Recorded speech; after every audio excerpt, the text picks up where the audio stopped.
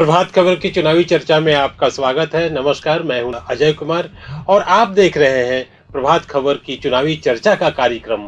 तो हम इस कार्यक्रम में बात करेंगे कि बिहार की 40 में से चौथे फ़ेज़ के तहत जिन पाँच सीटों पर मतदान होना है तेरह तारीख को, उसके लिए आज चुनाव प्रचार थम गया और ये काफ़ी महत्वपूर्ण फ़ेज़ होने जा रहा है क्योंकि इसमें दो केंद्रीय राज्य मंत्री चुनाव मुकाबले में है और ये फ़ेज़ इसलिए भी महत्वपूर्ण है कि 40 में से लगभग आधी सीटों पर इस फ़ेज़ के साथ चुनाव संपन्न हो जाएगा। तो ऐसी स्थिति में हम दरभंगा, उजियारपुर, समस्तीपुर, बेगूसराय और मुंगेर मुंगेर लोकसभा सीट को लेकर बातचीत करना चाहेंगे और वहाँ से क्या है स्थिति, इन सीटों पर और कौन प्रत्याशी किसका पलड़ा भारी है इस चुनाव में, इस पर चर्चा करेंगे और हम जानने की कोशिश करेंगे कि अब तक के चुनाव प्रचार के दौरान कौन से मुद्दे हावी रहे और इसके साथ साथ जानने की कोशिश करेंगे कि जो तीन फ़ेज़ के दौरान मतदाताओं की चुप्पी नज़र आई और उनका वोट प्रतिशत 2019 के चुनाव के मुकाबले कम रहा, इस बार क्या कुछ होने की संभावना बनती है? हमारे साथ स्टूडियो में है मिथिलेश कुमार जी, लेकिन ये चर्चा शुरू करने से पहले एक और जानकारी दे दें कि कल रविवार रविवार को प्रधानमंत्री नरेंद्र मोदी का पटना में रोड शो होने जा रहा है और इस रोड शो के कारण ऐसा माना जा रहा है कि पटना सहित जो आसपास की सीटें हैं, उसको भी वो कहीं ना कहीं असर डालने लायक हो सकता है। तो रोड शो की तैयारी, प्रशासनिक तैयारी लगातार चल रही है। और पटना में डाक बंगला चौराहे से इस रोड शो की कल शाम छह बजे शुरुआत होगी। तो अब हम आते हैं। आज जिन पाँच सीटों पर चुनाव प्रचार थम गया, उन सीटों पर क्या है तस्वीर और किस प्रत्याशी, किस उम्मीदवार का लगता है कि उनका पलड़ा भारी है? तो हम शुरू करते हैं दरभंगा लोकसभा सीट से। मिथिलेश जी। जी। दरभंगा लोकसभा सीट जो है, वो मिथिलांचल का एक प्रमुख इलाका है और प्रमुख चुनावी क्षेत्र है, वहाँ से कई बड़े बड़े नेताओं का चुनावी आगाज़ होता रहा है।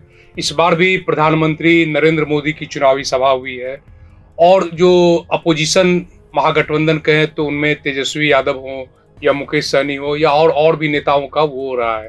दरभंगा से इस बार गोपाल जी ठाकुर जो दूसरी बार लोकसभा का चुनाव लड़ने जा रहे हैं, बीजेपी से, एनडीए ने, भारतीय जनता पार्टी से उनको दूसरी बार उम्मीदवार बनाया है। उनके मुकाबले महागठबंधन ने ललित कुमार यादव, जो राजद के पूर्व मंत्री भी रहे हैं, उनको मुकाबले में उतारा है। आज शाम पाँच बजे इन दरभंगा सीट पे चुनाव का प्रचार थम गया। अब अगले 36 घंटों में वोट होना है। तेरह तारीख की सुबह सात बजे से मतदान होना है वहाँ। जी।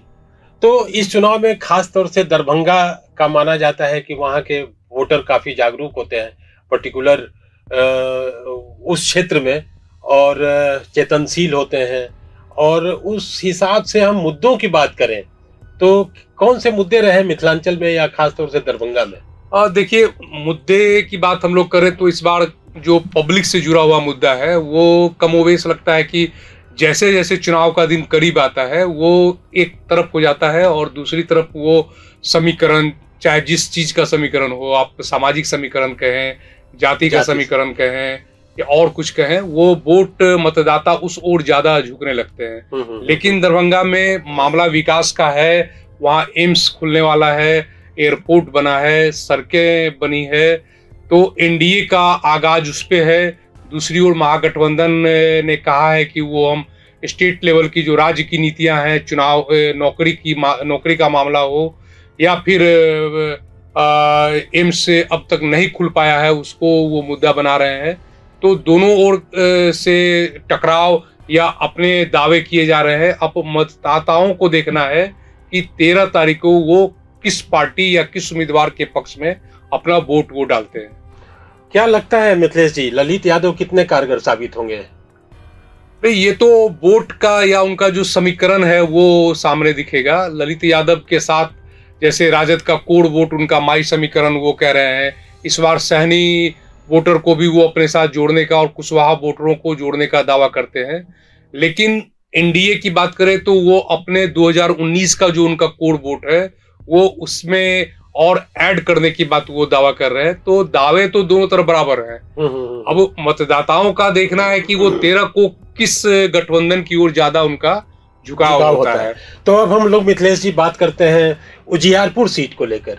उजियारपुर में 2009 2014 2019 उन्नीस। तो 14 और 19 से नित्यानंद राय जो अभी केंद्र में केंद्रीय गृह राज्य मंत्री भी हैं वो खड़े हैं भाजपा की ओर से और आलोक मेहता राजद के उम्मीदवार हैं। आलोक मेहता पिछली दफ़ा भी खड़े थे और इस बार भी 2004 में उनकी जीत हुई। उजियारपुर सीट को कि हम लोग, उनका महत्व इतना ऐसे जान सकते हैं कि अमित शाह, जो केंद्रीय गृह मंत्री है, उनकी सभाएँ हुई है उजियारपुर में, और ये केंद्र सरकार की भी प्रतिष्ठा फंसी हुई है।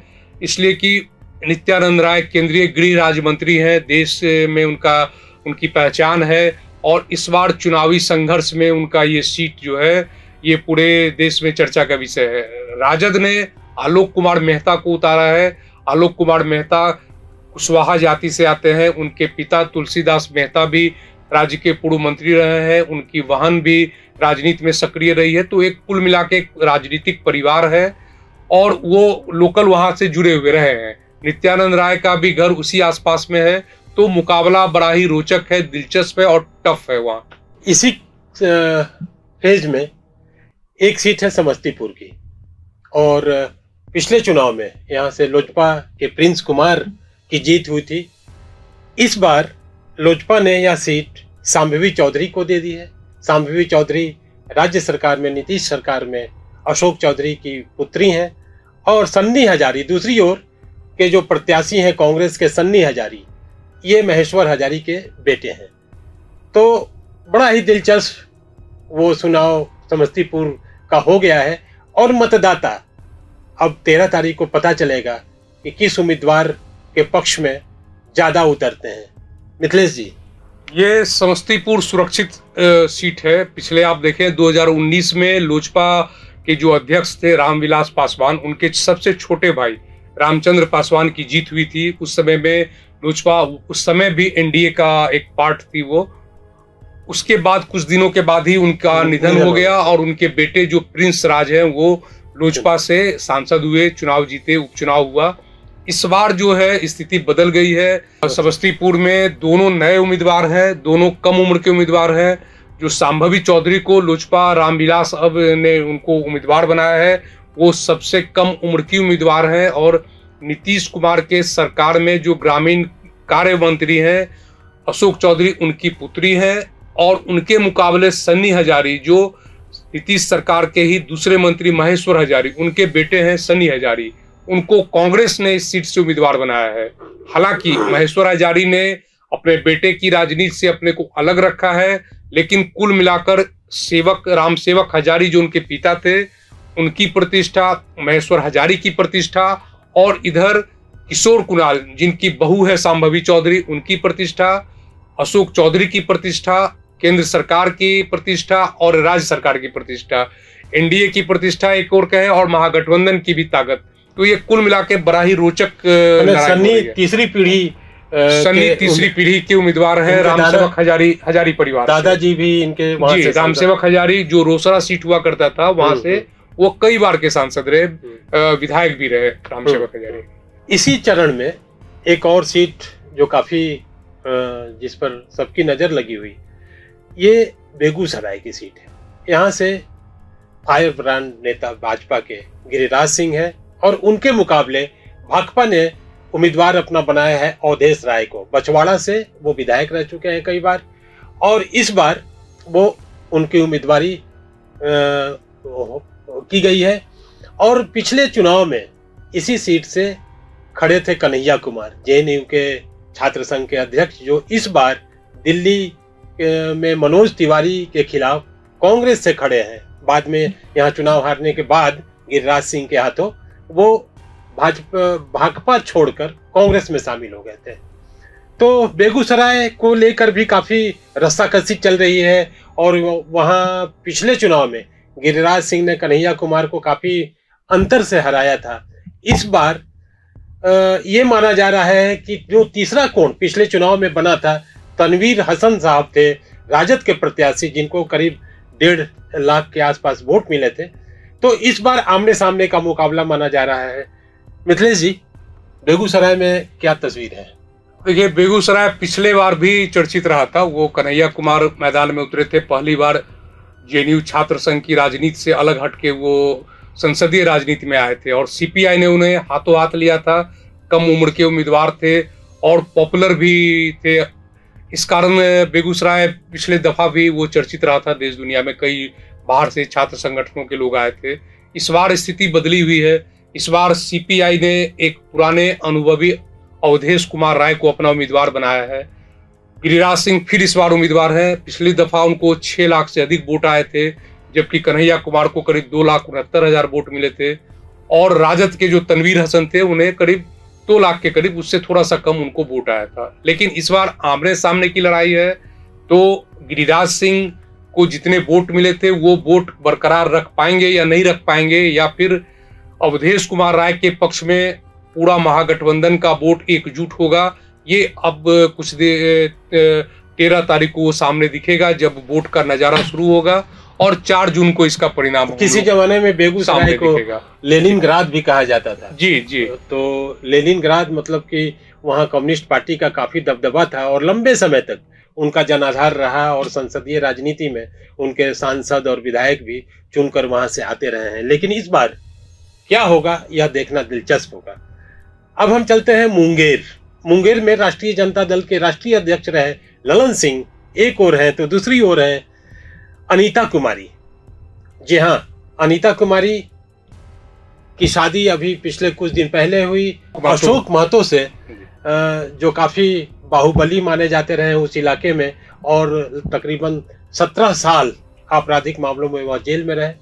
बाद में वह जमानत पर छूटकर बाहर आए और चुनाव से ठीक पहले उनकी शादी हुई और टिकट मिला राजद की ओर से उनकी पत्नी अनीता देवी को।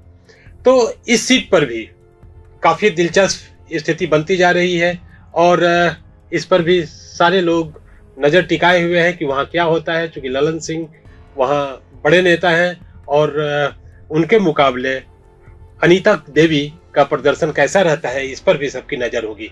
मिथिलेश जी, मुंगेर को लेकर क्या है स्थिति? मुंगेर लोकसभा सीट की बड़ा ही रोचक कहानी है।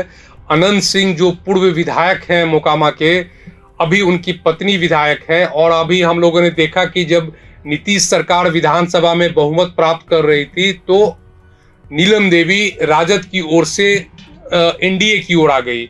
और उसके बाद से ही ऐसा लगा कि अनंत सिंह को राहत मिल सकती है कानूनी और वो जेल से रिहा हो सकते हैं।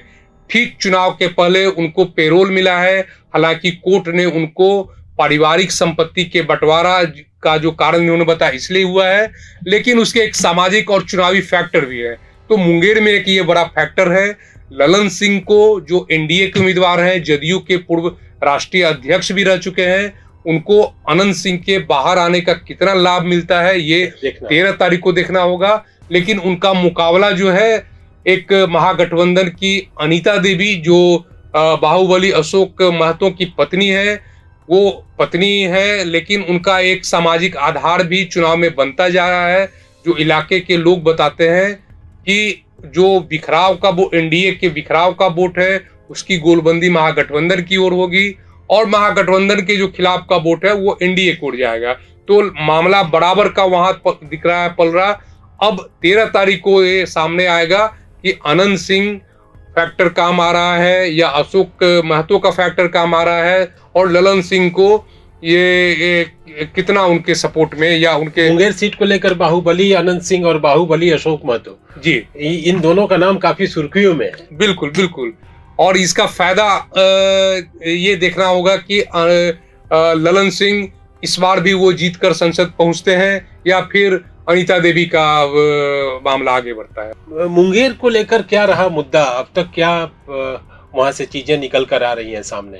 देखिए मुंगेर की जो सीटें हैं या मुंगेर के आसपास का जो है वो टाल क्षेत्र भी है किसान का भी एरिया है विकास का मामला है गंगा नदी अभी मुख्यमंत्री की सभा हुई थी मुख्यमंत्री ने कहा कि जो मोकामा है मोकामा से ही गंगा नदी की धारा वो ले जा रहे हैं नवादा बोध गया और राजगीर की ओर। तो एक तो किसानों की समस्या है टाल क्षेत्र की समस्या है मुंगेर से सटा हुआ बेगूसराय खगड़िया है तो बाढ़ की भी वो कुछ समस्या है मुंगेर में जमालपुर रेल कारखाना है तो विकास का भी मामला है और और, और आपको हम इंटरप्ट कर रहे हैं मुंगेर का पिस्टल जी। और वो भी काफ़ी देश भर में देश दुनिया में वो पिस्टल अब नामी हो गया है। मुंगेरिया पिस्टल। मुंगेरिया पिस्टल जो कभी वहाँ बंदूक कारखाना हुआ करता था योगाश्रम है वहाँ मुंगेर में। मुंगेर में उसके लिए भी लोग जानते हैं। पूरी दुनिया भर में उसका काफ़ी नाम है तो ये सब एक मुद्दा है वो राष्ट्रीय मानचित्र पर तो मुंगेर है ही। हम्म, हम्म, तो इस बार वहाँ के मतदाता किस ओर अपना रुख करेंगे ये देखने वाली बात नौजवानों को लेकर भी मुद्दा कहा जा रहा है कि रोज़गार का सवाल है या बाकी जो और भी जो सामाजिक इश्यूज़ हैं तो बिल्कुल रोज़गार का मुद्दा तो है ही। युवाओं के सामने सबसे बड़ा मुद्दा रोज़गार और स्वरोजगार का है। तो जैसे मुख्यमंत्री एनडीए के एक प्रमुख घटक दल है जदयू। जदयू के नेता है मुख्यमंत्री। मुख्यमंत्री ने लगातार कहा है कि वो अभी दस। लाख नौकरियाँ देंगे अगले साल 2025 के दिसंबर तक और अभी चार से पाँच लाख दी गई है। अपोजिशन जो महागठबंधन के नेता हैं तेजस्वी यादव उन्होंने भी ये मामला उठाया है कि आ, उनके रहते हुए पिछले सत्रह महीने में नौकरियाँ दी गई। तो नौकरी और रोज़गार का दोनों ओर से मुद्दा उठाया जा रहा है और दोनों ओर से युवाओं को ये समझाया जा रहा है कि नौकरियाँ हमने दी या हमारे कारण से हुई और आगे भी तरह से श्रेय लेने की होड़ है। श्रेय लेने की होड़ और जनता को लुभाने की कोशिश है कि हमने किया। जी बिल्कुल। और ये मुद्दा तो है बिल्कुल रोज़गार तो होना ही चाहिए। तो अब मुकाबला काफ़ी तेज़ी से और सरगर्म होता जा रहा है। और प्रधानमंत्री का रोड शो होने वाला है मिथिलेश जी। जी, तेरह तारीख को जो चार सीट पाँच सीटों पे चुनाव होना है तो हम देखेंगे कि पाँचवें चरण की कई सीटें हैं उसमें प्रधानमंत्री की सभा भी होगी और कल वो शाम पटना पहुँच जाएँगे, रोड शो करेंगे। तो सात बजे से शाम से मुझे लगता है कि दो घंटे ज़रूर लगेंगे। पटना का जो डाक बंगला चौराहा है, वहाँ से उनकी रोड शो उनका शुरू होगा और शहर के बीचों बीच एग्जीबिशन रोड को क्रॉस करते हुए कदम कुआँ होते हुए वो पुराना रूपक सिनेमा वाला जो एरिया है रास्ता है साहित्य सम्मेलन मतलब गांधी मैदान। गां, होते हुए गांधी मैदान पहुँचेंगे। तो ये एक रोड शो है पटना में रात्रि विश्राम है और अगले दिन तेरह को पाँच सीटों पे चुनाव भी है और प्रधानमंत्री की जो पाँचवें चरण की सीटें हैं उसमें चुनावी सभा भी होंगी। हम्म, हम्म, हम्म, तो कुल मिला के तैयारी भी है सुरक्षा के कारणों से। कल जो शाम में सात प्रधानमंत्री के आगमन के एक घंटे के आसपास एयरपोर्ट का ट्रैफ़िक स्लो होगा या बंद हो सकता है।